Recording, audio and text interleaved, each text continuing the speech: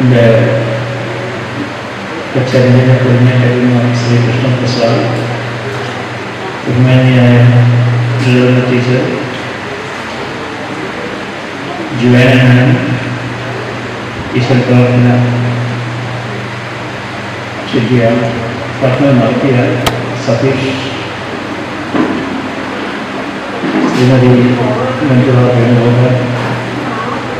Mini Mini Joseph Babu S സാറ് ശ്രീമതി സതീദേവി പ്രിയ സഹോദരി സഹോദരന്മാരെ സുദീർഘമായ പ്രസംഗത്തിന് സാഹചര്യമില്ല എന്ന് എനിക്കറിയാം എന്നിരുന്നാലും നമുക്ക് ചെറിയ കാര്യങ്ങൾ ഈ അവസരത്തിൽ പറയുവാൻ ഞാൻ ആഗ്രഹിക്കുകയാണ് അതിന് അവസരം ഉണ്ടാക്കിയിട്ടുന്ന ഈ അനവധിയ ഓൾ കേരള ഡാൻസ് ടീച്ചേഴ്സ് യൂണിയന്റെ ഓഫീസ് ബെയറേഴ്സിനോടുള്ള ഭാരവാഹികളോടുള്ള അഭേദമായ നന്ദി ഞാൻ പ്രകാശിപ്പിക്കുന്നത് വിശിഷ്യ ശ്രീദേവി ടീച്ചറിനോട് ഏറ്റവും ആരാധ്യനായ മോഹൻ സാറിനോടുള്ള പ്രത്യേകം നന്ദി ഈ അവസരത്തിൽ ഞാൻ പറയാം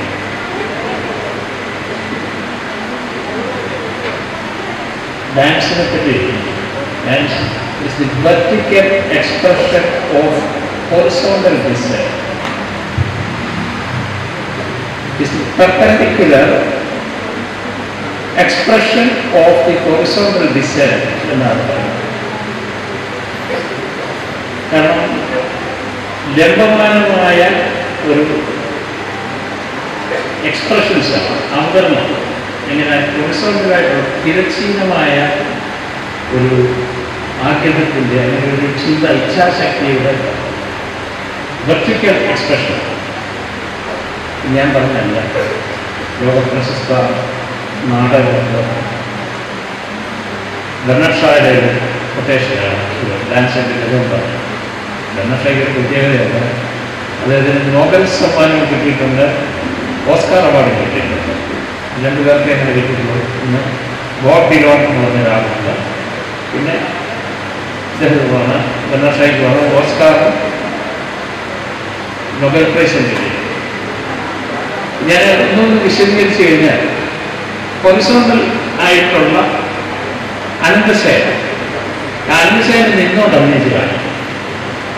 അതൊരു ടാസ്ക്കാണ് ഒരു ചലഞ്ച് അങ്ങനെ ചെയ്യുന്നതാണ് ഒരു നർത്തകി അല്ലെങ്കിൽ നർത്തകൻ നർത്തനം നൃത്തം എന്ന് പറയുന്ന ഒരു അവസ്ഥയിലേക്ക് ഒരു എക്സ്പ്രഷൻ ഒരു ഒരു സംവേദനത്തിന്റെ ഒരു ഭാഗമായി മാറാൻ പറ്റുകയും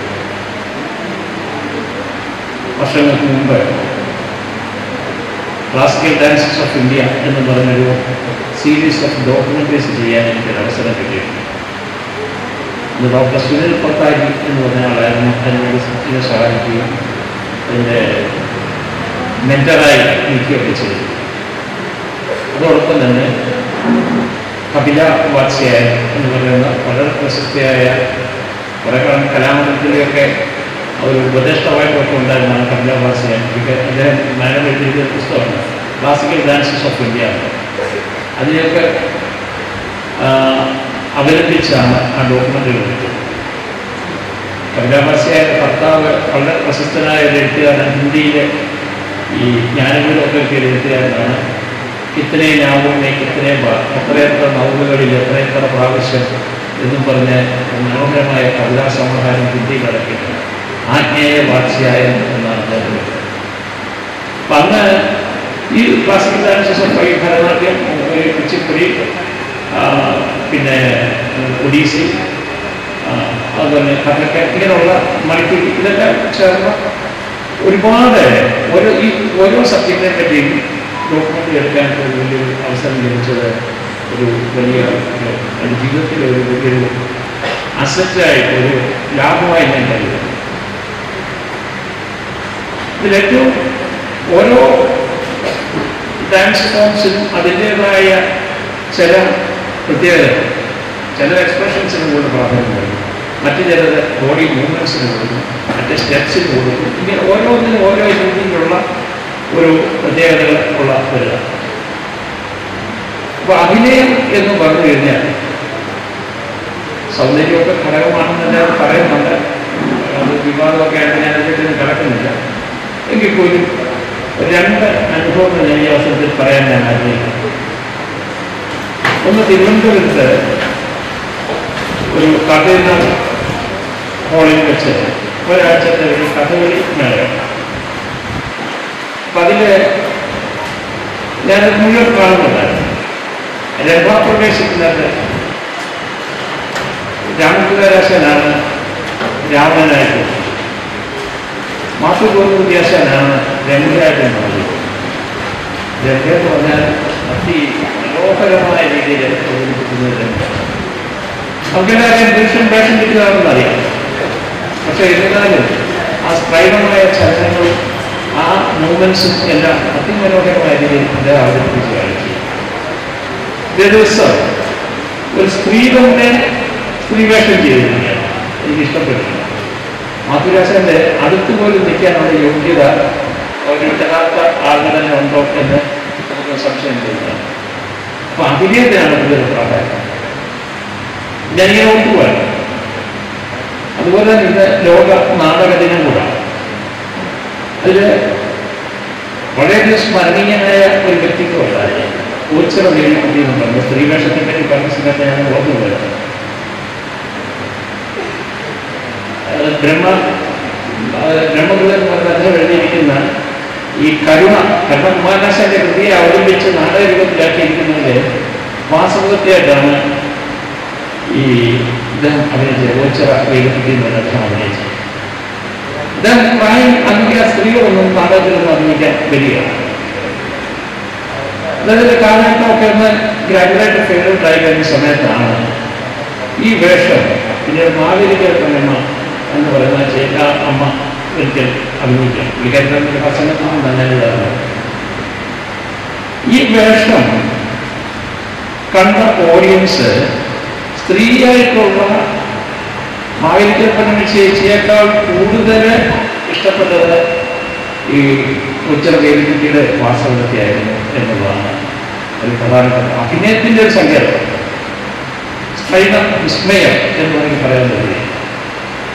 പിന്നെ ഒരു അനുഭവം കൂടെ എന്ന് പറഞ്ഞു കഴിഞ്ഞാൽ ഒഡീസയിൽ വളരെ പ്രശസ്തയായ രണ്ട് നർത്തകികൾ വളരെ പ്രശസ്തരായിട്ടുള്ള ഒന്ന് സംയുക്ത പാണിഗ്രഹി എന്ന് പറയും. രണ്ടുപേരും മരിച്ചുപോയി അതാണ് ദുഃഖകരമായ അവസ്ഥ.